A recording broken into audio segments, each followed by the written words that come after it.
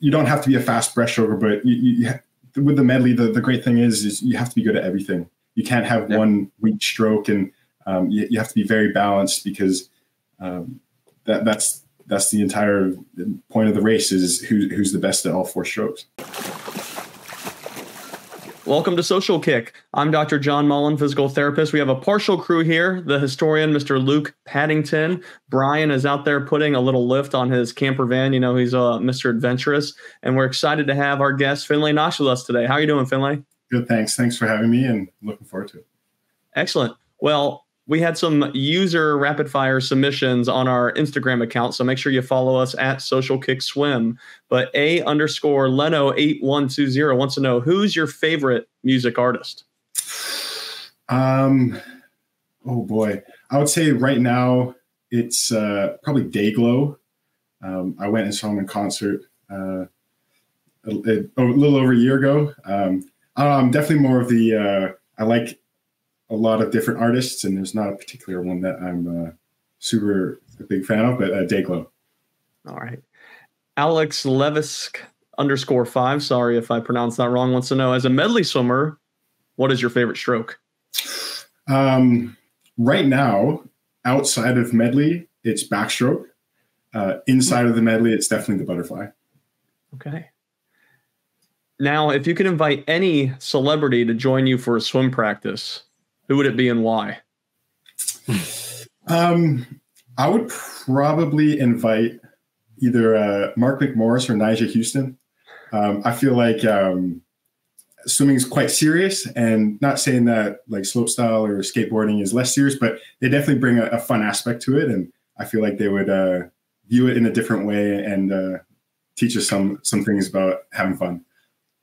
All right, last one here, and we had a lot of people: Mr. Cole Pratt, DJ Dot Landry, Blake Tierney, uh, Milo Wall, all want to know about your beard. Is the beard real? Are you keeping it? Who are the Muska beards? So we have a lot of questions about it, but it looks like we may have lost it already. No. Um, so uh, pretty much after Pan Am Games, it was uh, it was November, and uh, three of us, uh, Blake Tierney was actually one of them, uh, Raben Dommann and myself, um, we all decided to grow our beards out. Um, and I am quite fair skinned. I'm a little bit ginger, and I was not a fan of it. But they were like, you know, Worlds is in, you know, we're leaving in end of uh, end of January. We might as well just keep it till Worlds. And I was like, you know, at the time I was like, sure, like why not? And ended up, you know, having to keep my word, and we kept it. I was not a fan of it. I was very happy to see it go. Um, but we we grew it out for for a few months and uh, just kind of have fun with it. Oh, sick, man.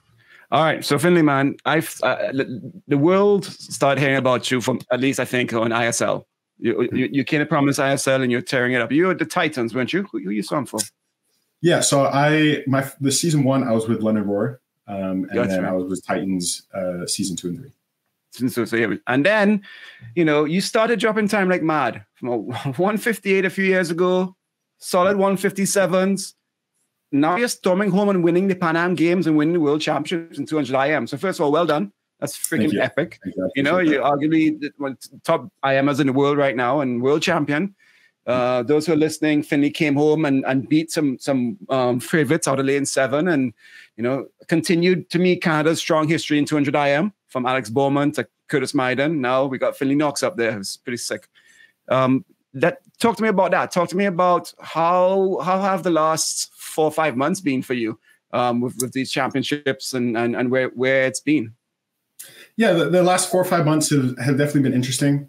Um, some people know this, some people don't. I, I recently moved to Vancouver um, at the end of uh, August. So new training program, new um, new coach, new lifestyle. Um, so a, a, little bit of a, a change, but still kind of un- under that uh, Swim Canada umbrella with the, the high performance centers. Um, yep. But yeah, it's you know I, I, think the last four months, five months, um, putting away the, the, the competitions aside, it's the same as every month. Um, you know, progressing, trying to improve each week and improve each month, and pushing uh, the limits in practice for for ourselves, and and just getting sharper and um, yeah, just trying to enjoy enjoy myself and and have fun and keep keep this rolling. So Uh, I love that. Okay, well, well, let's. I want to get into the races eventually, but let's get into where you are now. Then, um, so yeah, you said you moved to Vancouver, and you're training under Scott Talbot, uh, uh, uh, from a family of legendary coaching, um, yeah, and, and, and experience. Talk to me about why you made that decision, and how has it been since you made the move? Yeah, it's it's the move has been fantastic. Uh, I work really well with Scott, and um, yeah, I, I decided to make the move. Um, pretty much after trials of last year in April. Um, mm-hmm. I just wasn't really happy in in Toronto. Uh, nothing to do with the coaching or, or what they had available there, but um, yeah, it's just training with some older athletes and some younger athletes. It, it was uh, I was kind of in the middle of you know I was 22 at the time, and um, you know the the next closest age was either 17, 16 or uh, 26, 27. So I, I was kind of in a, a weird, a weird stage. And um, yeah. uh, HPC Ontario is very uh, girl heavy as well. Uh, they've had a lot of success with, with females, and um, it, it's great training with girls. They push you more than than ever. But um, you know, I, I just kind of needed to be in an environment where I was I was surrounded by uh, just more kids my or like people my age and um, kind of the lifestyle I'm living, where it's you know trying to go to school and being surrounded by people you, you can kind of joke around and um, you know tease and practice a little bit and um, that that's kind of what was available in Vancouver. Um, yeah. I did look around. I was uh, I was in Australia for about a month last year with oh, nice. uh, Bowley, and um, it was actually their their swimmers who recommended that I check out Scott because a lot oh, nice. of them actually trained under Scott, and they're like, he's a yeah. fantastic coach. Um, if he's in Canada, obviously getting all the perks of being part of a, a high performance center and the support there, mm-hmm. um, they're like, you should definitely check it out. So um, went and checked them out in in May of last year. Really liked what I was seeing and enjoyed the environment and um, kind of made the decision right before Worlds and um, and just stuck with it. Yeah, swimming's such a unique sport. I mean, when I swam, I think I had two or three coaches my whole swimming career, really, like main coaches. Now with ISL, you're able to kind of be exposed to more coaches. Sounds like you're taking it in your own hands to work with some different coaches. But it really is one of those, it's like such a big deal when someone moves, where in a lot of other sports, God, you'll have different coaches. You'll be switching teams all the time. Like you think about professional, I don't know, basketball players or something. They could be on five, six teams, you know, in their career. Um, I guess what is your view on like how often to switch coaches or kind of that whole process on how swimming is with coaching? Yeah, obviously there is that stigma. You have certain swimmers, you know, like Phelps is a classic one where he's with Bowman his his whole life. But um, whenever we're at, we're at training camps or um, you know coaches come in and and view practices, I, I you know the more eyes on on swimming, the better, and um, the more opinions you can get. You know, t- you know, I try to take it um, as positives and, and, just try to learn from from every coach I see. And um, every every different coach is going to have a different view on swimming and different view on a stroke. And um, you know, the, I feel like the best way to improve is to expand your knowledge and and learn from other coaches. Uh, in terms of moving coaches uh, for a training location, it's definitely a little bit better to to keep consistent. Um, when I was back just south of Calgary uh, in my age group days, I was, I was with Todd Melton, he was the, the head coach of the Okotoks Mavericks for. Uh, I was I was with him from like 11 years old to, to 18 before I moved out to Toronto with with Ben Titley, and um, mm. so I, I, did go through a period of of a stable coach for a, quite a long time. But um, you know, once you get to a certain level in swimming, all the coaches they have the same view and the same goal, and um, as long as you're uh, just committed to what their program is and just enjoying the process. I, I personally believe anyone can succeed at any type of program. Um, you know, you, you, look, everyone's doing different. Um, some people are doing like the, the, super short training. Some people are doing long aerobic stuff. But at the end of the day, once it comes to a, a swim meet and everyone gets up on those blocks, it's it's very evenly matched uh, along most of the, the, the races. So um, yeah, I think it's, it's, as long as you have a good connection with the coach and, and you're enjoying yourself and and you trust what you're doing, uh, it's going to make you the best swimmer out there. Okay.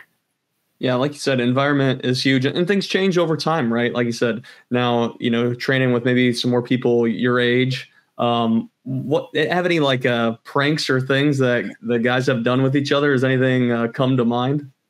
Uh, I wouldn't say pranks, but you know, it's we're all you know we're, we're in our early twenties. You, you, tease them for absolutely everything, and it, it's just that good banter that you need in practice, and um, it definitely makes a little bit more joy. I'm, I'm, quite serious as a swimmer, especially when it comes to training, so it helps me uh, just relax a little bit and and just enjoy the the process of being. You know, you're you're training 27 hours a week. If you're being serious and focused for 27 hours, it, it's taxing on the, the mind and the body as well. So, um, you know, it's, I, I, I, put a lot of credit to the guys that um, I train with to keep, you know, just keep the banter going and, and um, just helping me enjoy the, the process. So I think it's really, really important. Uh, I like it. Um, but let's talk about the program then. So you are 10 weeks out from trials.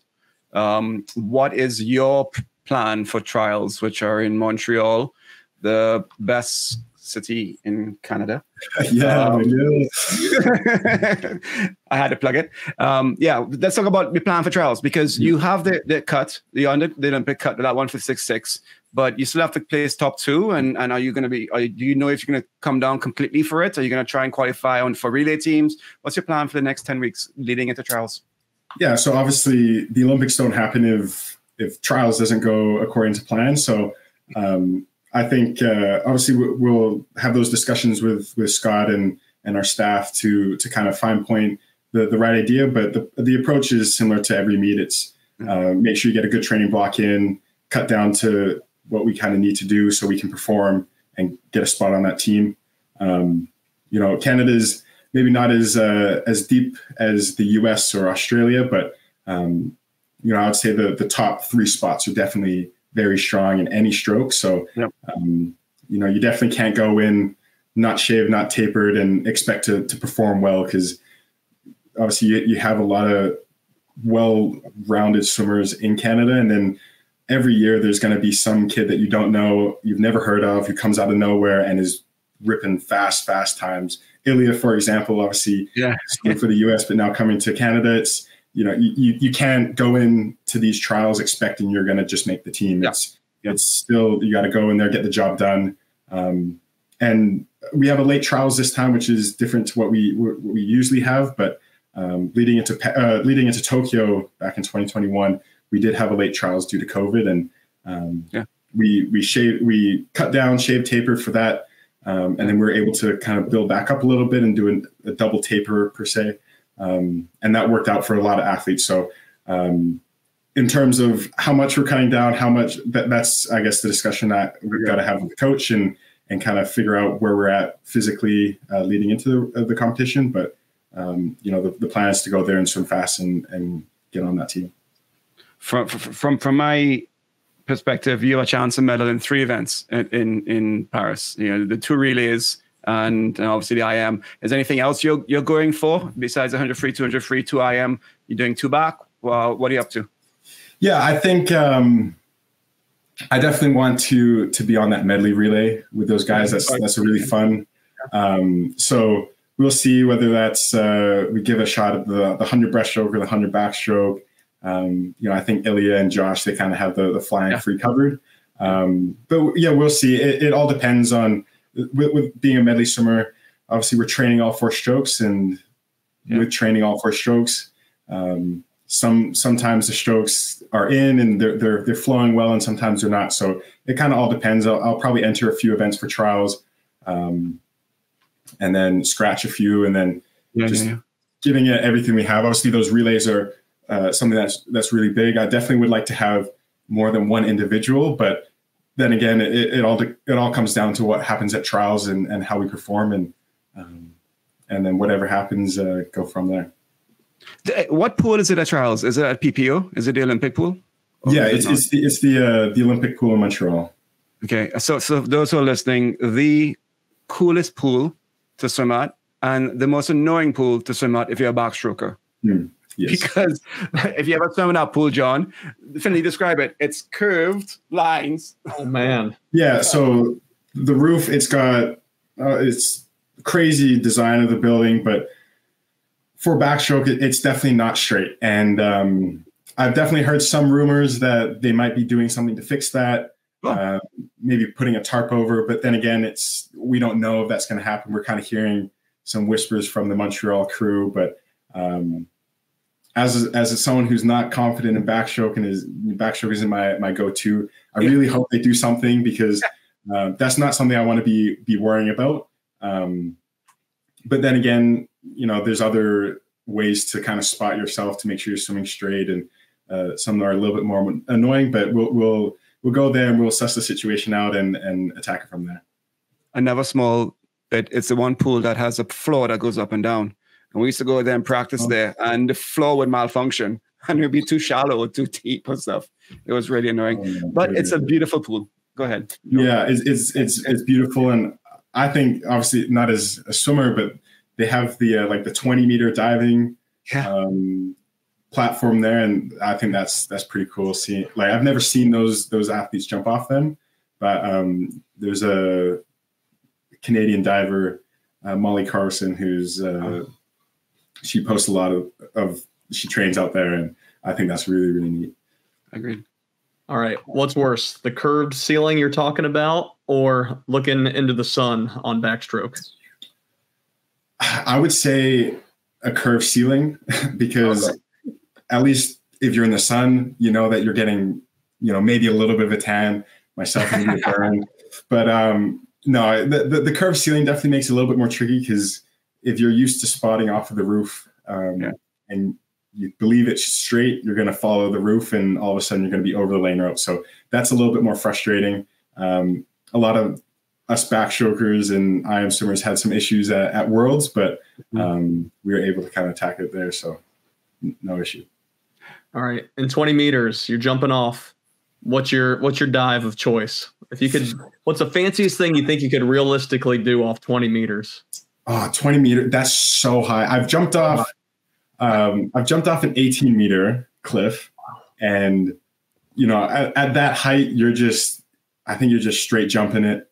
Um, if you try to throw a gainer or, or like a floaty backflip, um, there's just too. You know, there's too many things that could possibly go wrong at that height. If you kind of belly flop off of like a 10, 11 meters, you can kind of get away, but at that height, you're done. So I think just straight straight jumping it and and hoping I land on my feet. And just a little safety warning for those who are, watching. Make sure you that you jump with your arms folded and cross your legs because wedgie is You an don't understatement. Take it from Luke. We've done some low level cliff diving in Trinidad together, so uh, he's got the the Caribbean in him to know exactly what to do. For real. I remember on my recruiting trip to Tennessee, we got up to the 10 meters and it's outside. And that was my first time off a 10 meter. I'm like looking to the right, there's like a tree, looking to the left, there's a building, and like all the recruits, we all do pencils. But one of them did a gainer, and we're like, oh my God, this guy's gonna kill himself. He just like ran past us and did a gainer. We're like, holy shit. Yeah, honestly, it, doing a gainer like a like a slow floaty backflip, it it definitely makes it easier to um, to kind of spot where you're at. Um, but the nerves beforehand definitely a little little more intense. All right, let's get into training, a little more serious training than this jumping off uh, 20 meters. So, like you said, every coach kind of has a, a different nuance or n- different thing that they can provide and, and benefit. What have been some of the nuances or things Scott's um, helped you with this past, um, you know, training block? Yeah, I think uh, understanding kind of backgrounds of of where swimmers come from and and certain things that you know make a, a swimmer tick. So um, I came from a background where I did USRPT for um, Mhm. five six years and did a lot of filming and a lot of uh, technical work. So I would say for me as as an athlete, I definitely spend a little bit more time working on technique and working on filming because that, that's something that works for me and, and makes my brain tick. And um, you know, he he's very flexible with with other athletes. We have you know a Raben Dommann. He came from open water and now he's a tuner backstroker. So uh, complete crazy switch. But you know, coming from a background where he's you know putting up 100k weeks, he definitely likes to have a little bit more mileage and and more feel of the water. So. Um, for me, definitely like that that technique and, and filming and, and spending time working on making sure I'm swimming correctly and swimming efficiently. So when I am hurting and, and fatiguing in a race, I know that I'm not, you know my stroke's not falling apart and, and I'm swimming incorrectly. So th- those are a lot of the main things I like to do. Um, and then obviously just having uh, heart rate sets and um, back end speed and, and making sure you have that front end speed and just hitting all aspects of, of, mm-hmm. of your energy systems. Mm-hmm. Yeah, coming from USRPT, um, I, I, want we want to dive in that a little bit more because I really think it's it's interesting. I think a lot of people, you know, start with traditional training and then they started to do USRPT when it was becoming more more popularized. And I think that's a tough transition. But I do think starting with USRPT and then maybe transitioning into other nuances and you know maybe a little bit more higher volume, so to speak, doesn't have to be that big a difference is something that can be accomplished and like i said an easier psychological transition so i guess what has been your transition from moving away from usrpt yeah so when i when i moved to toronto with ben titley um, you know obviously i was doing um, you know 4k workouts 600 meter warm up and then just 3 3.5k of just race pace mm-hmm. to having some sessions that were 6k 7k in length and um, it was tricky. It definitely like the first month it was it took a while to adapt to. Um, but when you're younger, between for me, I, I did that training when between 13 and 18, and when you're young like that, and your, your body recovers so quickly, and um, for me, obviously being a little biased because I did that, it, it made sense because you know you're you're doing race pace every single day, you're getting up, you're swimming fast, I'm not old now. Maybe when I'm on a team with Summer, you feel old, but um, you know, the body def. You know, I've, I've, put on quite a bit more muscle since then. I'm a bit heavier in the water. Body needs time to recover. So, um, as a kid and as a junior, I felt like for me it was perfect. It, I get bored very quickly, so having those uh, repetitions on, on quick and you um, mm-hmm. you know you're, you're, racing fast, it keeps it interesting. And as I've gotten older, I definitely enjoy those. Uh, those like Friday morning sessions where it's a little smoother, just kind of swimming out. Um, so I, you know, but at the same time, it, it all depends on on what you believe and. Um, yeah. You know, again, the the saying of like a happy swimmer is a fast swimmer. If you're doing something you believe in and you're happy doing it, then that's going to be the the biggest benefit although he's not doing the 2IM as often as he used to, you know, Michael Andrew is kind of the, the poster child for USRPT, and everyone loves to talk about his his last 50 and his 2IM. And God, he's was you know putting up some amazing times, but was still getting tons of you know flack for not being able to finish. And oh, he needs to change his whole training program. And it's like, man, this guy's going to the Olympics, and in my opinion, I think it's working well. Um, mm-hmm what do you think of those people and naysayers that say, "Oh, well, if he just did traditional training, he could finish better"? Yeah, it's it's it's a little frustrating because people just, I guess, from my perspective, they, they view the race and they see his last 15. They're like, obviously, he's not doing the work to to finish. But um, you know, he has come out and said he is a 50 100 swimmer. He's got the speed and he's utilizing his strengths. Um, yeah. You know, for, for example, obviously we don't know what would happen, but if you were to get Caeleb Dressel or or someone like that to to do a tuner freestyle and he would have flip turn, you know, a second or two seconds under world record pace with 50 to go, I'm know, I'm just saying I don't think he's going to come back at 27. He's probably going to hurt quite a bit. So, um, you know, he's he's going into a time. He's using his strengths and he's executing it the, the way he needs to. And um, you know, there, there was a you know, he's going out 23 something in the fly, and people are like, oh, just slow down. And, you know, I, I come from the, the, same understanding with him. It's like, I'm, I'm not the fastest swimmer out to the 50 in butterfly, but um, for me, if, if, I go out at 24 6, like I was at Worlds, or I was out at 25 0, you know, 0.4 of a second, I'm out 0.4 slower, but it feels the exact same. Um, you know, it, it's just you, you got to utilize your strengths and for him, it's to to go. He he knows how to sprint. He knows how to go fast. He's going to attack it, and he he's swimming exactly how I think he should.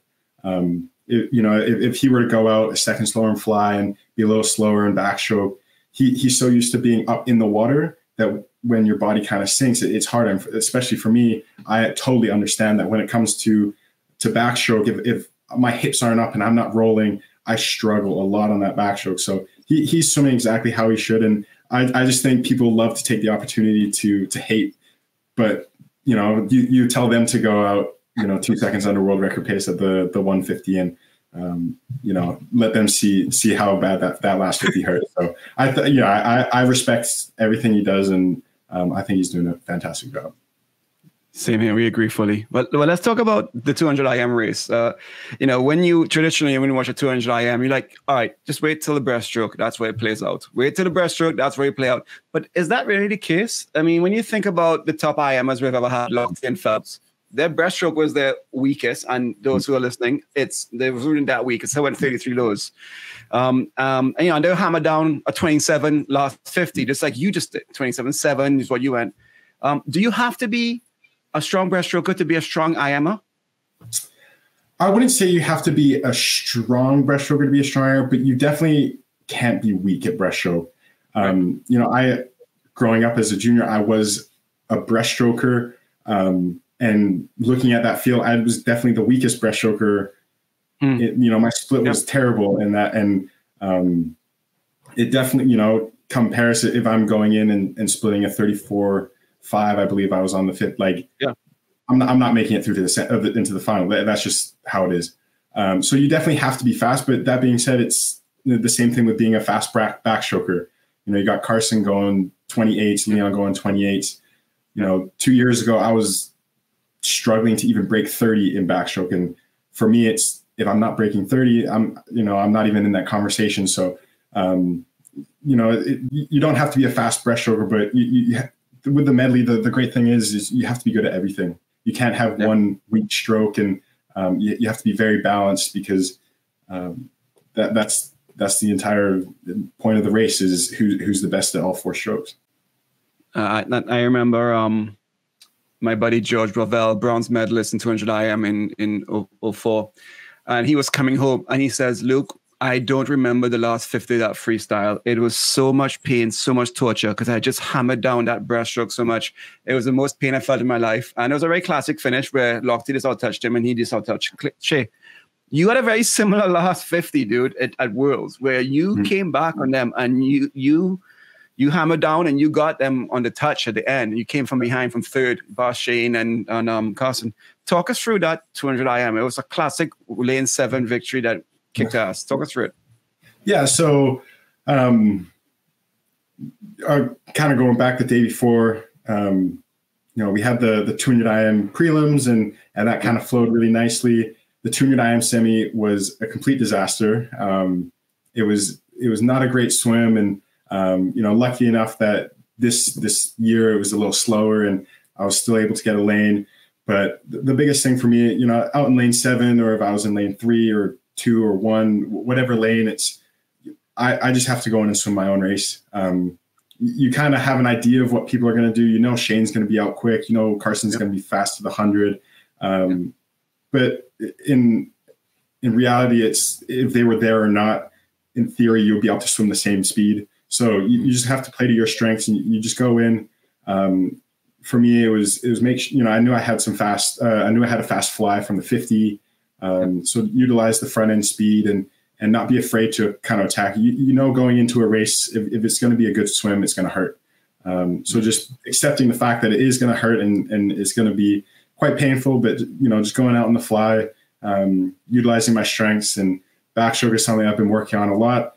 Um, you know, so a little bit a lot slower than Carson and Shaine, but you know, it, it was the 10th faster than what I've been. So that's, that's progressing in a good way and, and making sure I'm, I'm transitioning well. Um, you know, I, I, was home in 27.7 on the freestyle, but my yeah. breaststroke was a 34.5. Yeah. So if I, if I was a, you know, four tenths faster on the breaststroke, I probably would have been, you know, three, four tenths slower on the freestyle. So um, it, it kind of goes hand to hand, but um, again, you know, I, being out in lane seven, it was nice to kind of swim my own race, but I'm also a racer, so I like being in a race. Um, but I, I really I, I, saw glimpses throughout the entire race, and uh, you know at the at the fly to back turn, kind of see where I was positioned, yeah. back to breast turn, and then the, the breast to free, kind of seeing Carson push off and Shaine. But you know, just swimming my own race and making sure that I'm I'm putting in the, the power in the right spots and and holding my stroke together, and I guess it it all ended up working. So. Oh, dude, what what's the most painful turn in a 200 IM? So you gotta you gotta fly it back and you gotta hold us on the waters. And then Yeah. but the, the, the crossover turn, you're exhausted and you still have to streamline and you're looking over. And then the last one, you have nothing and you want you gotta kick. What's the most painful Oh, one? And how do you got to hold be it together? breast free. It's got to be No, breast. No, I, I back to would breath. argue it's back to breaststroke. Back to Oh. breaststroke is by far because so I wear a nose plug. Um, I hate how it looks and I, I hate that, but it, it make it makes it significantly easier. Um, Yeah. you know, in back to breast turn, if you're not wearing a nose plug, you're you're going on your back, you're blowing out air from your nose so it doesn't go up your nose, and then you're doing the flip turn. And now you're you got half a set of lungs. You're pushing off. You have to hold the streamline. You have to wait, you know, a second before you do your kick. And the breast breaststroke pullout isn't.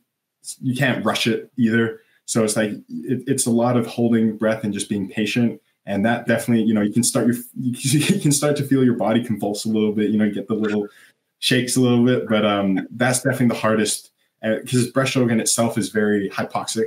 Um, Yep. You know, you, if you're only doing 18 strokes, you're only getting 18 breaths in that in that 50. So, um, you know that that's by far the hardest. When it comes to freestyle, I think you're just you're already in so much pain, and things just kind of flash in and out of con- you know. So, um, but yeah, the, the back to breast for me for sure. See, I think I heard it. It's really breast to free, but you've already blacked ev- or blocked everything out because you're already in so much pain. It doesn't even Yeah. register anymore. So it's like beyond the threshold. Yeah, that's definitely it. so um, you mentioned you know knowing the other athletes race strategies um, carson and, and Shaine at world champs at the olympics leon's going to be there and i think everyone would agree he, he's the favorite going into it um, how do you keep in mind other people's race strategies at the olympics where obviously the medals are, are the main thing versus trying to stay with your own race plan not get too caught up in what other athletes are doing around you Yeah, I think it's a it's a good idea to know kind of what athletes are going to do. Um, I think it's more important for the longer distances to to have a better idea. Um, in the 200 IM, it- it's it's pretty much 450 max. That, that that's that's what it is. And if if you're spending too much time worrying about oh is is you know Duncan going to be quick on that breaststroke or should I be ahead of Carson going to that? For, you know, it's just like you're thinking too much. It's it, the biggest thing is just switching the brain off. I- I know exactly how I'm going to swim it, and that's all I can control. You can't control what what those guys are doing. Um, you know, and going into a race, if, if you think uh, Shaine's going to be quick, and then all of a sudden you're at his feet and he's a lot quicker, and you're basing your entire race on their game plan, it's going to throw you off. So I think I think the biggest thing is sticking with your game plan. Um, obviously being aware of what swimmers might be doing, but you shouldn't be basing your entire race off of, of what they're doing because you know swimming's swimming's a weird sport. It, you know, come come the Olympics, the the 200 IM is going to be day, day six or seven. So some swimmers are going to be pretty heavily loaded. Some people are going to be fresh. That's going to ultimately impact the way people swim that race. So I, I, I personally believe you, can't um, base your your entire race on other people's game plans, but definitely have an idea, know know kind of where they're at. So when you know you, come to a turn and you're behind, you're, you're not freaking out or panicking. Uh, it's been 13 years since somebody's hit that world record um, at 154.0. Uh, and we, you know, 154 is is something that not, not many people have done. Four people have done it from from what I'm looking here. What is it going to take to to to to get that massive drop down? Right now, Leon's at 140, 154.8. What's it going to take to get under that? Because you just had a massive drop yourself. What does it take to get under that world record? Well, ultimately, it's it's the last three fifties. it's it's pretty much the whole race. um, you know, it's it's uh, you know, if you ever watch a 200 IM, majority of the people are going to be under world record pace come the fifty, um, but not a lot of people are going to be under world record pace at the backstroke. Uh, Right. Lochte has incredible backstroke. It's it's learning how to have a fast fly, but not be not to tax your the rest of your race. Um, coming into that backstroke, using the momentum from the backstroke into the breaststroke. Lochte split a crazy breaststroke split, even though his breaststroke was his weakest. And then coming home, I think his his freestyle split is a, a 27-4. So it, it- it's a Yeah. very very impressive swim. And it- you know, comparing myself to that, it's I got the fly, but I don't have the back. I'm you know second and a bit off that. I'm a second and a bit off the, the breaststroke, and I'm even with a slow breaststroke and a fast freestyle, I'm still off the, the freestyle. So um, th- there's still a lot of work to be done, but um, you know, it, with swimming, I, I, feel like it gets that reputation that um, you know people are done peaking around 23, 24, but you really see it's it's the older swimmers are the ones who are getting the, the most experience, like finding their strokes. So it, it, it's a it's a patient game, and um, for me, you know, it, I, I, took off quite a bit of time, but it's just each year going in and, and improving on skills and improving on aspects of the race and and uh, making sure that even though I did take off a lot of time, I could tell you ten things as soon as I touch the wall, but I need to improve on which would help me get faster. So um, just just being patient with with with the way your body's progressing and the way your body is um, kind of adapting to the training and all that stuff and and I, I personally believe the people who are the most patient are the ones that's going to pay off for it. So. All right. Well, it takes a lot of patience to swim at 200 IM, especially. Um, and you have the fly down, like you said. You, you go at 24 point. How do you swim a fast 24 point fly, but it's easy and hasn't taxed you much? What do you do to ensure that you're still there? You, you've nailed it. What, what do you do to ensure it's a fast but easy? Yeah, I think um, part of it is just certain strokes come naturally to some swimmers. Um, from when I was eight years old, fly was one of those strokes that I was able to pick up pretty quickly. Um, so it, it's just using my strengths there. Um, mm-hmm. You know, I I'm able to swim a pretty relaxed 24 point. It doesn't feel like it taxes me that well. But then again, I'm, I'm struggling on the backstroke. Um, you look at Carson; he's got an incredible backstroke. His 28 yeah. split backstroke is probably less taxing than my 29 five backstroke but you know, he, growing up, he was a backstroker, so it's just um, part of it is certain strokes come more naturally to other swimmers, and that's that's the beauty of a 200 IM is it, it, will go like this the entire race, and you'll see some swimmers who are naturally just have a better feel for a certain stroke, and um, others not. But then again, it, it's not something you can't learn. Um, yeah, yeah. You know, when I was when I was 19, um, or even when I was 18 before like World Juniors, I was going out 26-3 for the fly and yeah, just with you know trusting myself and being a little bit more aggressive. I'm you know I was going out 25-5 at, at World Juniors and nothing had changed in my training. Nothing had changed in in the way I was working on certain things. It was just trusting myself and and yeah, yeah. Um, trusting your abilities. So what's a set that you guys are working on now that maybe helps work in your backstroke. Maybe it's maintaining your tempo, making sure that your your your, your, your streamline's good, or your catch, you, or you're saving your legs. Is there a set you're doing now just that focuses on like middle hundred of to the IM? To me, the middle hundred is so key. Is there a set you're working on? Yeah, I think you know we're, we're ten weeks out. The, the, the first thing is just getting com- as silly as it sounds, just getting comfortable with the strokes. Um, mm. Just swimming just swimming backstroke, making sure I'm doing the right technique. I'm getting the shoulders rolling, um, yeah. just getting more comfortable swimming, swimming backstroke. And same thing with breaststroke. Breaststroke's a weird one because, you know, it can feel off for five, six, seven weeks, and then a week before your main competition is on, and all of a sudden you're dropping crazy time, and, and vice versa. So um, it, it's trying not to overanalyze how things are feeling, but um, mm you know, the, the biggest thing that everyone would, would do in, in a situation like myself is, um, you know, you, you got to work on transitions from having that fly, feeling the fly fatigue into having a fast backstroke with, with holding consistent tempo. I, I know my tempo drops quite a bit from the start to the finish. I feel like that's probably why I'm a little bit more successful uh, at short course meters because you get that turn in there and it breaks it up. But it's just holding, being able to hold that tempo. Um, and then from a kind of hard backstroke, being able to to hold the water and breaststroke. So just working on transitions and and, and holding tempo and you know the, the basics of I guess swimming and like back end speed and stuff. Hey, one thing, the, the, the 100 IM for me, I love the 100 IM because I fight, by the time I got tired in, in the fly, I could I rest. And by the time I got tired and back, it was a different muscles and it was a mindset, different, it just felt different is where do you rank 200 IM pain among all the 200s that we have? It, it's it's it's it's hard to rank it because with the 200 IM, obviously it's four strokes, so you're hitting all muscle groups, all different strokes. Your your whole body's going to be hurting.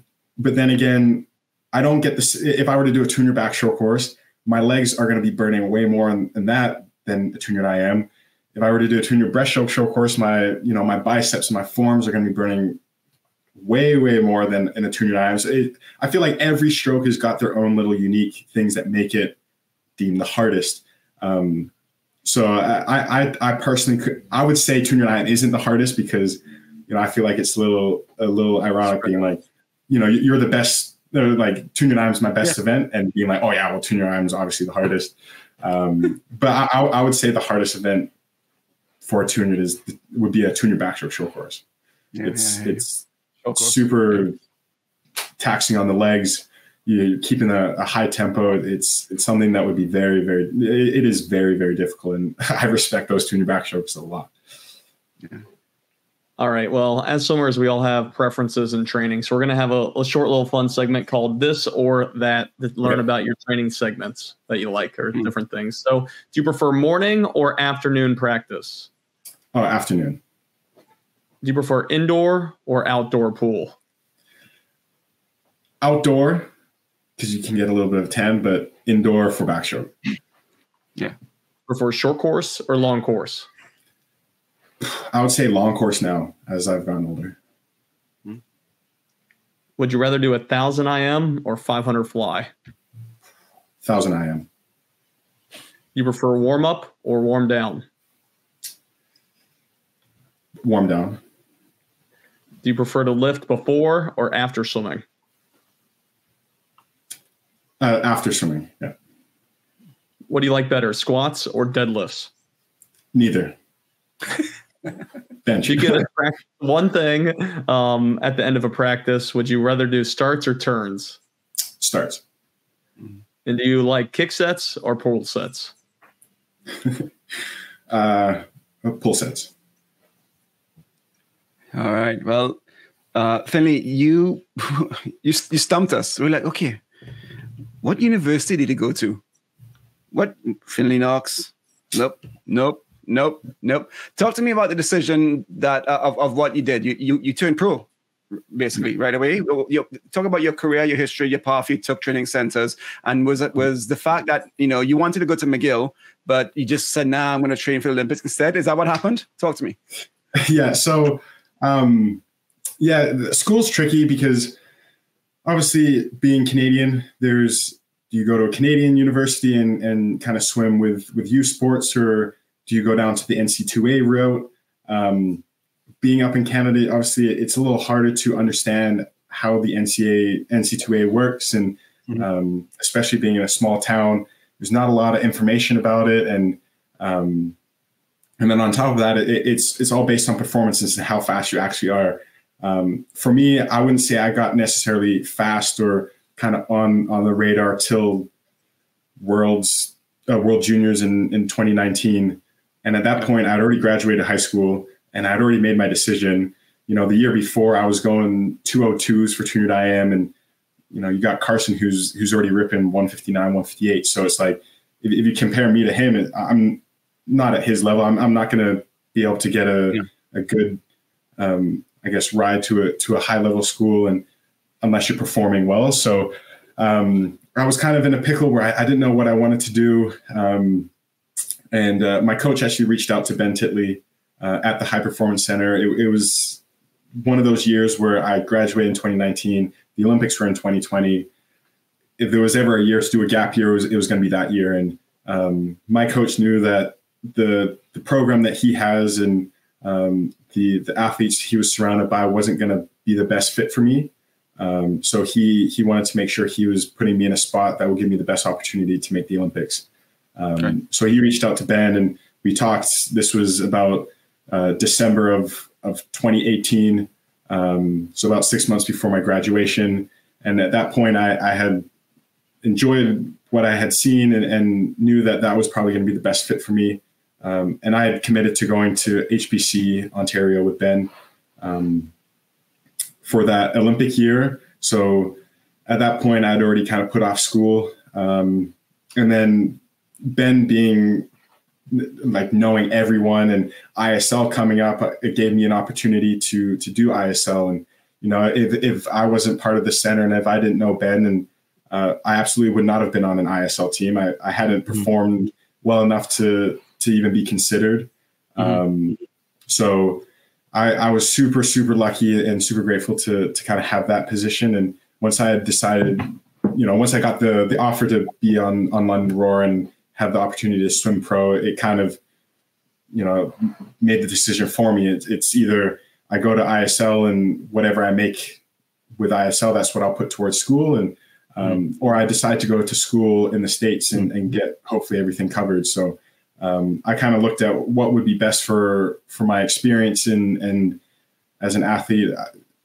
The the first thing that was the the best option was was ISL. So um, once I decided to do ISL, I knew NC2As was kind of out the option. And mm-hmm. then g- moving forward, it was training for the Olympic year. It was going to be one gap year. COVID happened, it got postponed. So then it ended up being two. Um, you know, uh, I've talked about this a, a, few times, but before the Olympics, I broke my hand.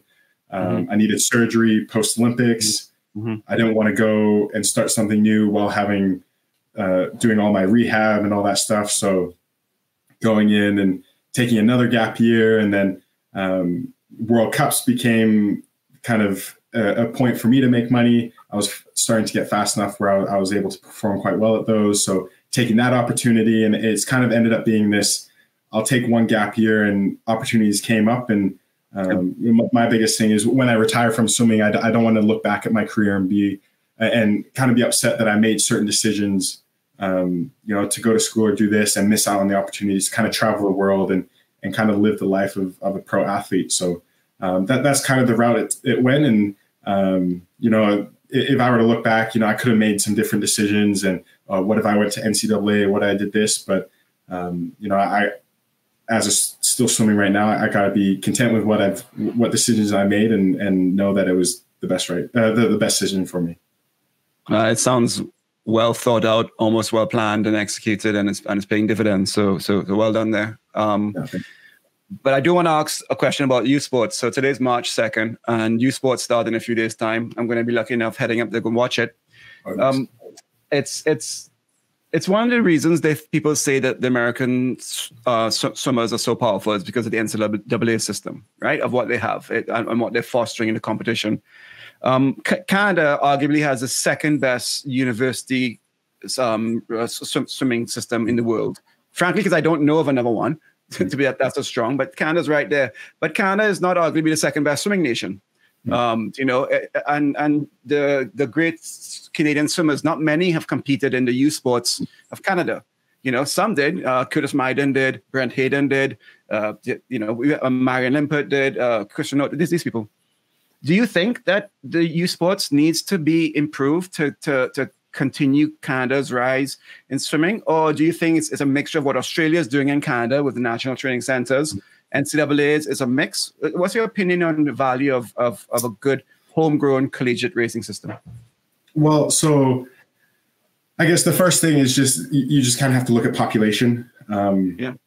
The U.S. has they're they're a lot. They have more depth in swimming simply because of their their numbers.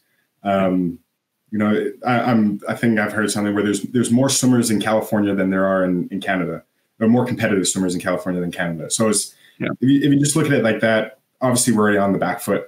Um, and then the other thing you got U.S., which is yards. They got their SATs and ACTs, and yeah. it, it's all kind of integrated. And a lot of times, it's if you're a fast you know high schooler, you, you get the opportunity to swim with um, universities, and it, that's the whole process. Whereas in Canada, it's more you know you're at club, you know, or a lot of people in uh, the U.S. they train for their high schools. Whereas in, in Canada, I think there's only one or two provinces that do like good high school swimming, and, and all of it's club swimming. So um, we're always in a position where it's um, you know obviously you're attracted to what's the best. And mm-hmm. if you're able to perform at the best you, you want to go there. Hence why, you know, Josh went to the NCAA's Maggie's down there.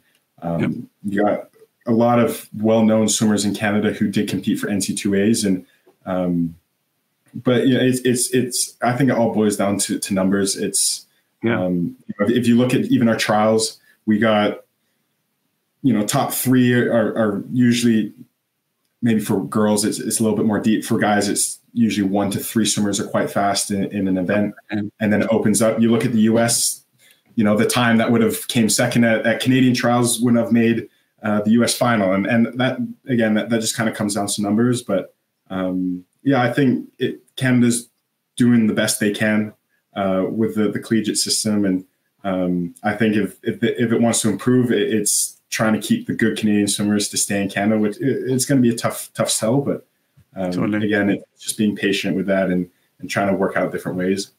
Now, if the U.S. did short course meters instead of yards, and they're able to kind of integrate the both, I think that would have that would be, um, you know, if they were to able to open up NC2As into Canada, um, and it was all even across the board, I feel like that would be beneficial for both sides. But you know, you can't make the rules, and um, this is just the situation we're in right now. Yeah, I mean, dude, you, you can set world records at Canadian University. I'm going to plug Canada swimming for a little bit, okay? You can set world records there because short course meters. The, the, the facilities are great. There is some money you can get. The coaching is good. You have to deal with the weather, mm, but you could go to Vancouver. so it's Yeah, okay. you're still dealing with the rain. You get, you get five years of eligibility, so which is also a nice thing as well. Um, but yeah, I get it, and um, and I'm I'm I'm pushing U Sports, um, trying to get it up there out of other circuits. But I understand being in America for 15 years, the draw to the NCAA system, and I must say I do wish I had a uh, opportunity to race there more, you know. And the most you get to Finlay, you race Americans at the Pro Series, you go down to the Pro Series, maybe you and then you go to World Cups, but that's that's your local racing. Where do you race? Like, um, do you get your racing in? I'd say besides the big Yeah, so- international meets. Yeah, so it, obviously it's split into to kind of three different categories. There's, you know, racing internationally for Canada, whether that's a Worlds or a Mare Nostrum Tour, um, and then there's the you know dipping down into the U.S. where you're doing your Pro Series meets, um, and then the, the local meets where it's it's not, I guess, going to a certain swim meet to to get that swim meet experience. It's to go Mhm. there, kind of swim in a, a pretty difficult situation. You know, there's no one in the stands. It's you're racing, you know, people who are quite a bit slower than you, but you just have to learn to kind of dig down, uh, dig deep, and, and be tough in those situations. So um, the the the quick ones are, are the ones where it's you know it's a time final session at the UBC pool. Um, you know, Canada hosts a, a few high level competitions with the the Mel Zajac. Usually, a, Yep. a few Florida swimmers come up there. Uh, this year, we have the Toronto Open. That's a new um, new meet we're doing this year, so that'll be pretty fast. Um, yeah, so staying in Canada, you, you kind of just stick with the, the local meets, and then um, you know you obviously want to get some some fast racing in. So that's when you go down to the Pro Series meets. You know, it gives you an opportunity to make a little bit of cash if uh, if you perform well, and then um, and then the international meets. That's usually the the World Championships or you know Commonwealth Games, uh, those sort of things. So you, you got to kind of have your your fair share of all of them. Um, got to get the the local meets in to kind of see where you're at. The Pro Series meets to kind of have that pressure and that competition, and then the, the big meets are are where it really matters.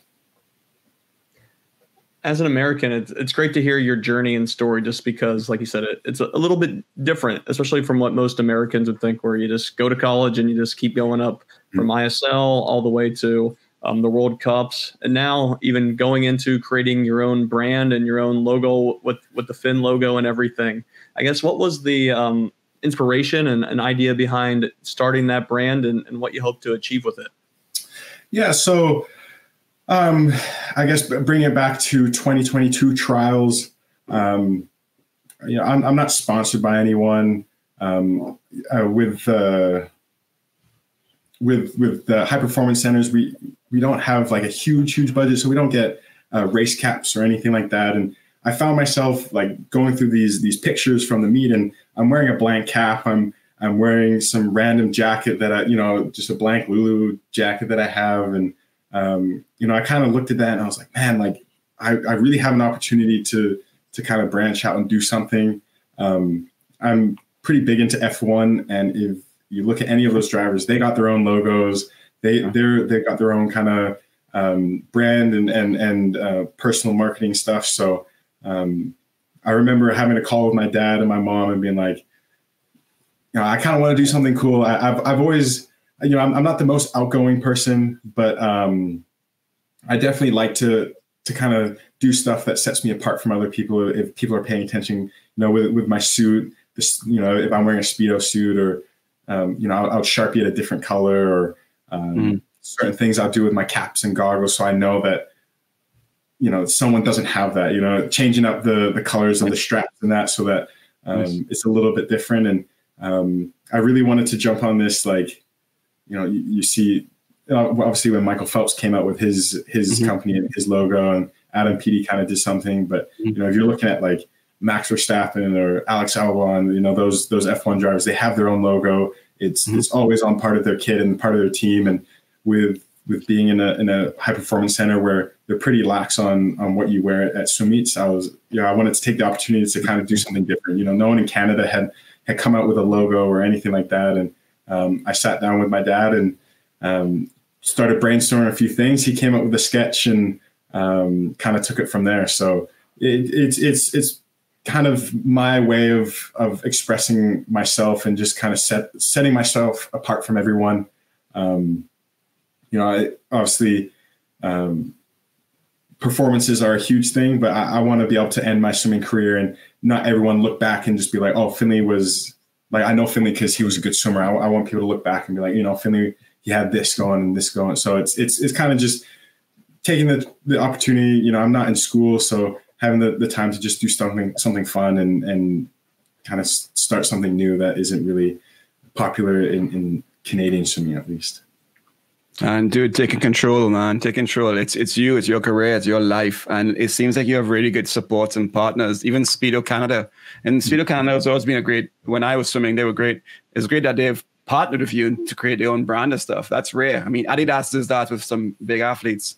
Talk about that relationship with um, you know, uh, furthering that brand and developing that brand. And is the idea maybe one day to create products of your own, or you're you just going to be branding for now? Yeah. So, um, I guess that was kind of a two part question. The first one, yeah, um, uh, Speedo, where you know we, we have a, a partnership deal with Speedo uh, with Swimming Canada, and uh, Speedo's been fantastic. Um, you know, I, I had this idea and I reached out to a few companies and and Speedo was really the the one to to latch on and be like, look, we we want to support you and and uh, we're more than happy to to help out. So you know, they're the ones who to you know provide me with the clothes and, and make the caps that I have and and stuff like that. So that they they did a fantastic job and I'm super grateful for that. Um, in terms of what I want to do with it, um, I'm kind of going through the the phase of trying to get it trademarked. Uh, you know, so it gives me the option to to kind of, uh, you know, put it into clothing or d- do something with that. Obviously, focusing on swimming right now, it's there's a lot of ideas going on, um, but I think right now it's it's getting it trademarked. I'm gonna the logo is actually gonna be changing, um, it just slightly, just uh, uh, with with the trademarking. That there's certain conflicts and and and doing that, but once once it's trademarked, then you know, my my biggest goal is to be able to put out, you know, maybe a shirt or something like that, and go to a trials and see a kid up in the stands wearing my shirt. If, if you, you know, I, I grew up watching hockey. Everyone would go to the Flames games. They, they got their jerseys. They've got their favorite players on the back, and you go to a Canadian trials, and it's like, you know, what do you wear? You, just wear your regular clothes. You know, no one has stuff where it's like you can really um, support your favorite swimmer. And and I guess I'm starting to to try to dive into being able to produce something where uh, fans who who want to come watch can support their favorite swimmer and and uh, do stuff like that. So obviously it, it's still in the very yeah. early stages and and yeah. things might change. But you know my, my biggest goal is to to go to a trials, finish a race, look up in the stands, and regardless of how it went, you know there, there's a kid in the stands with with a shirt on with my logo and um, is just there because they're stoked to see their favorite swimmer. So you just want your fans all showing up with your logo on a bunch of speedos in the stands cheering for you, all ages, everyone just rocking it. Yeah, I, I think I think it would be awesome. You know, it's like um, again, being an F1 fan, you, you, you see all the the pre-race stuff, and they're walking down. Everyone's wearing their favorite um, team's uh, kit and all that stuff. And I would love to be able to you know, obviously it's never going to be that big. And rather than having a couple hundred fans wanting your signature, you know, it'll be maybe one or two. Um, but it would be awesome to be able to um, provide something for those those those fans that that want to support their favorite athlete. And um, you know, it, it, the the marketing and the the platform of swimming is still very very small, and um, I want to be able to provide a a platform for my fans to support myself. You know, and in a selfish way, it might sound a little selfish, but you know, it's when I when I was going to hockey, you know, I had a Jarome Iginla jersey, and I, you know, I couldn't wait to see him play. And um. You know, thinking about when I went to, uh, I was I was part of a camp that went and watched Olympic trials in 2016, and you know, I had a few swimmers that I was like pretty excited to go watch. You know, Ryan Cochrane, but like. You, you just show up with like a swim Alberta shirt, and you're like, uh, you know, I want to, I want to be able to go out there and like see my favorite swimmer and show that he's got, so, you know, I'm supporting them. So it's kind of the goal, um, but we'll see kind of where it goes. Well, we're, we're fully behind you. And for those who are listening, this show tends to be a lot of show and tell. So it's better to watch it sometimes because I had the honor of being spending last week in London at, in working at the McLaren Test um, Center. So I worked with McLaren all week and it was sick. So one of the things they, they gave me is like, you know, it's all the hats and the branding, right? So this is McLaren branding.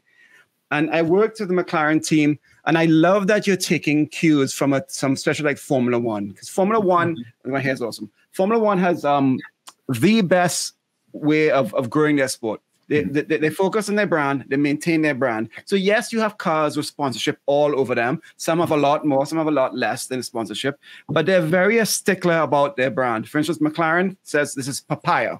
It has to be. And no longer blue on the back, all orange, because their brand is what their value is, is what the, their name is, and that's what drives them. And I am proud to wear this because I know Lando Norris is going is, is wearing this, and I'm I'm a fan. I I, I like how Lando drives. Um, so and another thing that Formula One did is that they had the Netflix um, behind the scenes of Netflix. And they didn't choose the Verstappens and the Hamiltons. They went for the Albert, for the midline athletes um, they had and followed them and got to know them and built their fan base.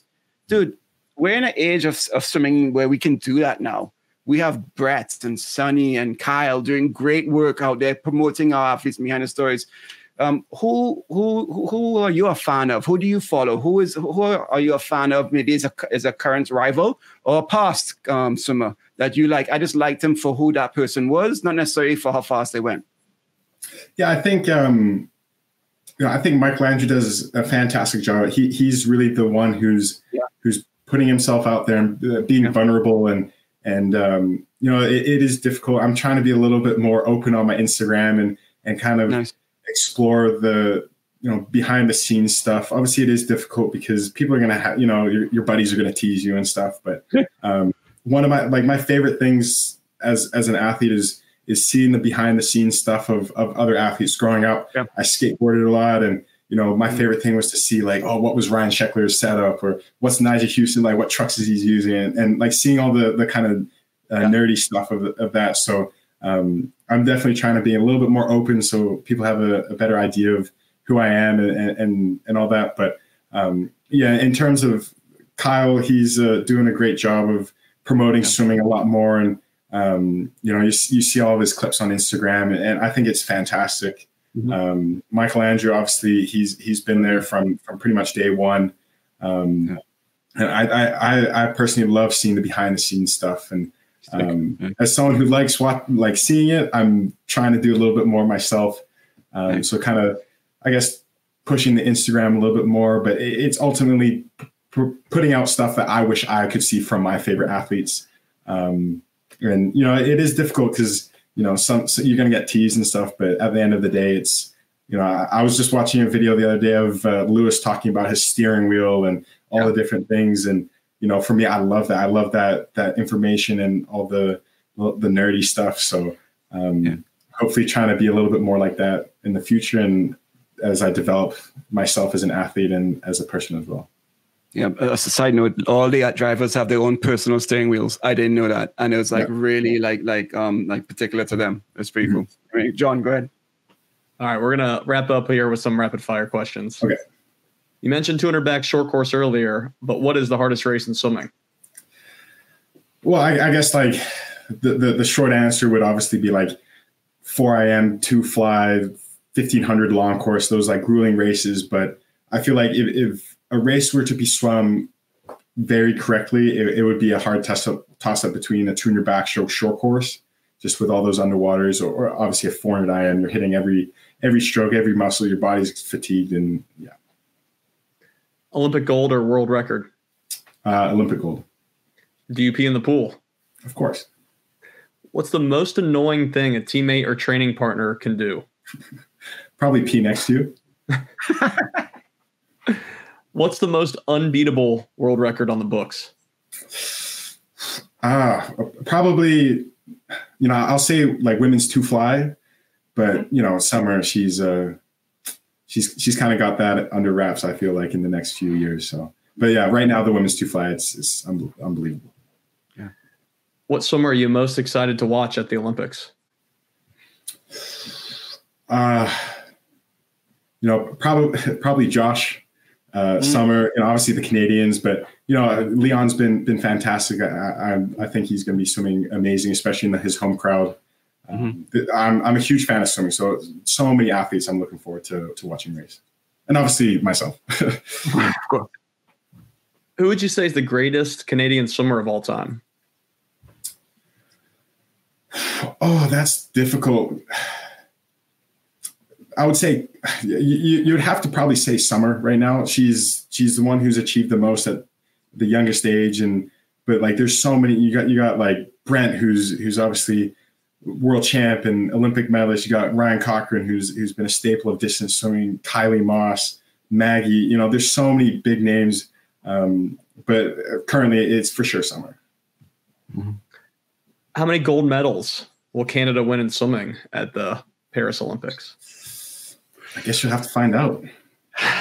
find out. Have you ever cried during practice? Oh, probably yeah. Probably when I was younger. Um, definitely, uh, there's definitely been frustrating practices where it definitely gets the better of you. I don't think recently. Um, I've been pretty happy during practice, but I've, I've, of course, I think every swimmer has. All right, and last one. How often do you do social kick? I did a lot more when I was in uh, in Ontario. Um, right now, it's it's more of a, a social walk to the car sort of thing. All right, Finlay. that's all, all we have here. So thanks again for joining us today. We wish you the best of luck. Hope to see a bunch of fans with the FIN logo at Canadian Trials at the Olympics supporting you on here. Yeah, thank you for having me. I, I really appreciate it. It's, a, it's an amazing platform you guys have, and I'm uh, lucky to be on it. Thank no, you. Appreciate it. All right, everyone. Well, that's another episode of Social Kick. Once again, you can follow us at Social Kick Swim online, and we'll see you next time. Thanks. Yeah. All right. See you guys. Hey, everybody. Thanks for hanging out with us. If you're enjoying Social Kick, tell your friends about it. And be sure to tell us what you liked by leaving a comment and subscribe wherever you get your podcasts. Follow us on Instagram. Please subscribe to our YouTube channel, The Social Kick, and you can find all of our content on our website at thesocialkick.com.